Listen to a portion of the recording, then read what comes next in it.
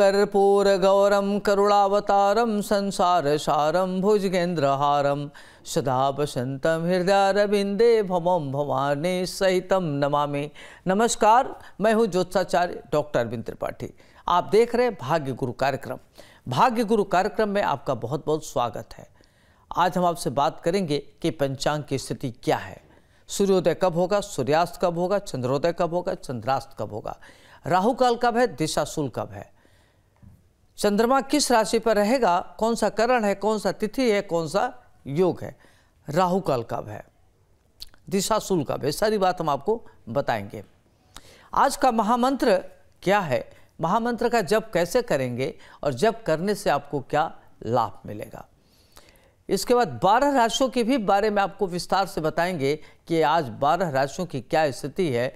कौन विदेश जाएगा, किसको विदेश से धन लाभ मिलेगा, कौन भारतीय प्रशासनिक सेवाओं में जाएगा, कौन खेल के क्षेत्र में जाएगा, कौन कहानी लिखेगा, कौन फ़िल्म बनाएगा, किसको प्रॉपर्टी से लाभ मिलेगा, किसको शेयर ट्रेडिंग से धन लाभ मिलेगा, सारी बात आपको बताएँगे।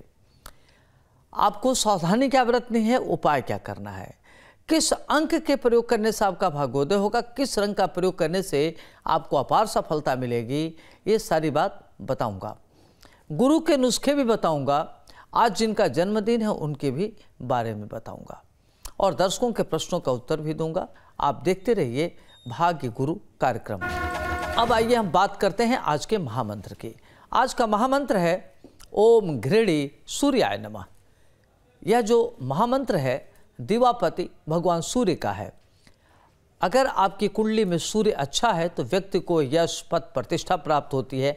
नेतृत्व करने की क्षमता होती है, व्यक्ति स्वस्थ रहता है, प्रसन्न रहता है और चतुर्दिक उसका विकास होता है। और सूर्य अगर कमज़ोर हो तो उसको तमाम तरह की दिक्कतों का सामना करना पड़ता है। तो आप इस महामंत्र का जप करें, एक माला, तीन माला, लाल रंग का वस्त्र धारण करें और लाल चंदन के माला से करते हैं तो आपके लिए फ़ायदेमंद रहेगा।